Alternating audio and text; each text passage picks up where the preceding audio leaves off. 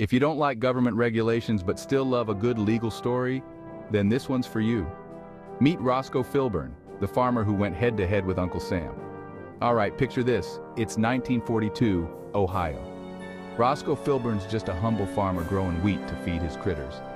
But Uncle Sam says, hold up there, Roscoe. We got limits on wheat to keep prices steady.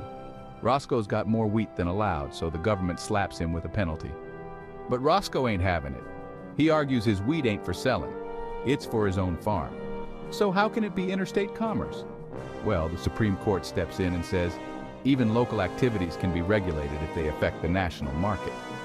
They pull out the Commerce Clause and declare that Roscoe's wheat impacts the whole wheat market, because he ain't buying feed from others. And just like that, Wickard v. Filburn sets a huge precedent for the federal government's power. So next time you hear about the Commerce Clause, remember old Roscoe and his wheat. If you want the full scoop, check out the link below. Thanks for watching, y'all.